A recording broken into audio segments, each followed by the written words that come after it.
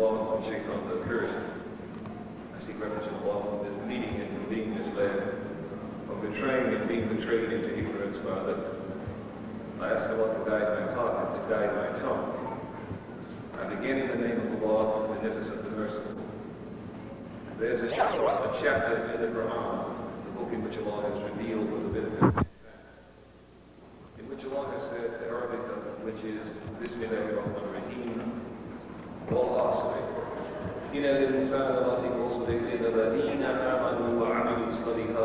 الصالحات وتواصوا بالحق وتواصوا بالصبر.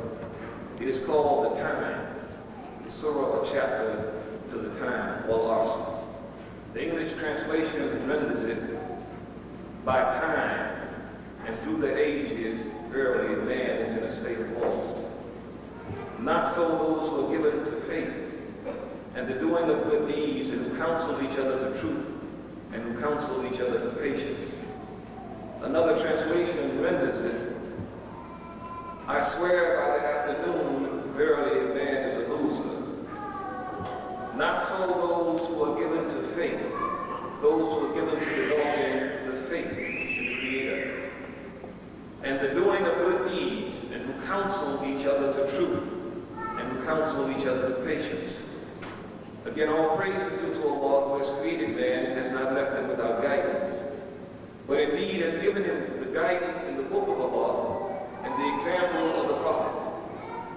Allah is no mystery, for Allah has sent truth.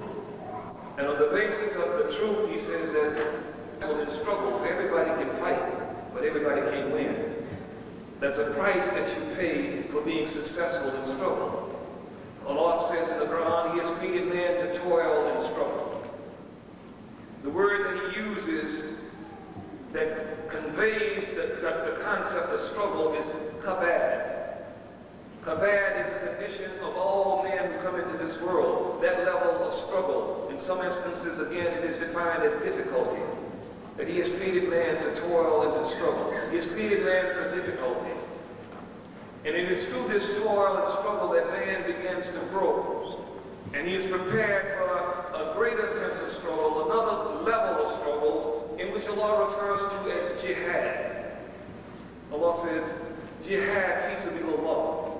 That is to struggle for the pleasure of Allah, to struggle with a level of consciousness, to be aware of what is required to be successful in struggle, to be aware of what is required to struggle. It is in this sense that jihad is a greater sense of commitment, of consciousness, of understanding. Again, Allah has earmarked everything in creation. He has given it signs. It is called ayat. As the Quran, the verses in the Quran is called ayat, signs.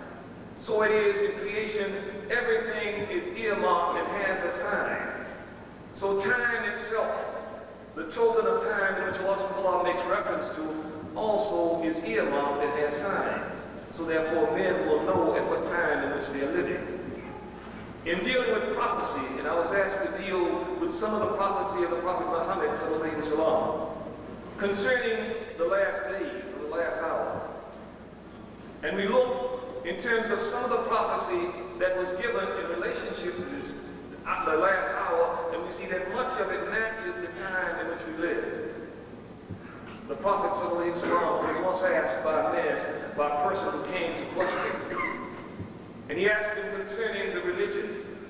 And in Arabic, the word that is translated into English as religion, deen, literally means the way of life, or way of life. He was asked about the right way of life. He said it is to bear witness that there is no God but one God, that there is no God but Allah, and that the Prophet Muhammad ibn Abdul who lived 1400 years ago, to whom the Quran was revealed, is the messenger of Allah. He said it is to pray five times a day. It is to fast during the month of Ramadan. It is to pay the charity of zakat, and it is to make the hajj. See, these are the pillars of Islam. The question I asked, what is Islam? And the Prophet replied, this is Islam. In the line of questioning, he asked him concerning the hour. And the Prophet replied, he says, the one who questions knows as much as the one who is questioned. So the question I asked, he said, well, what are the signs? Because everything has signs. And the prophet said, of the signs of the hour. And he gave concerning that the handmaiden will give birth to a master, or the slave will give birth to a master. He said that the slave will give birth to the master as one of the signs that will be evident in the last hour. And that the barefooted shepherd would compete in the building of tall structures or buildings. These will be of the signs of the last hour. Allah in the Quran has revealed even greater signs that are in terms of turmoil and strife that are of major proportions. There is a surah, and it is not long, it's a short surah in which I'd like to read as to the translation as to what Allah has said, to be on guard when you see these things, because again, it is a conveyance of the understanding of what times in which you live. It is called the Surah Taqweer, or the folding up. In the name of Allah, most gracious, most merciful. When the sun, with its spacious light, is folded up, when the stars fall, losing their luster, when the mountains vanish like a mirage, when the she-camel, ten months with young, are left untended, when the wild beasts are herded together in human habitations, when the ocean boils over with the swell, when the souls are sorted out, being joined like with like, when the female infant buried alive is questioned for what crime she was killed, when the scrolls are laid open, when the world, when the world on high is unveiled, when blazing fire is kindled to a fierce heat, and when the garden is brought near, then shall each soul know what it has put forward.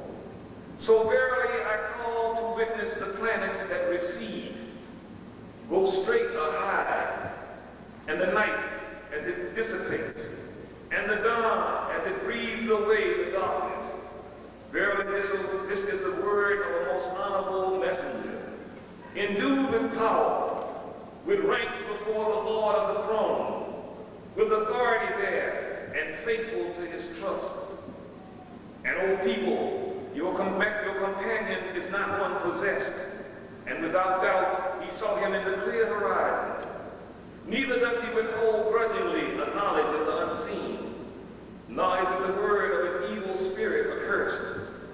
Then wherever you go, verily this is no less than a message to all the worlds with profit to whomever among you who wills to go straight. But you shall not will except as Allah wills, the cherisher of the worlds. Sadaqallahul Adheem, surely Allah speaks the truth. In this, as well as some of the other surahs, Allah has given certain signs that will occur, cataclysmic signs, that is, tremendous signs that will begin to shape and reshape the planet itself. So Allah says when you see these signs, then it can be categorized as to the time in which you live as being in the hour in which the Prophet has alluded to in much of the prophecy that he gave. He says, in the last hour of the last days, there are signs that will occur that will be so tremendous that it will again begin to arouse within the soul of men the concern for their spiritual well-being. They will not just be concerned as to the physical sense of safety, but it will go beyond that because the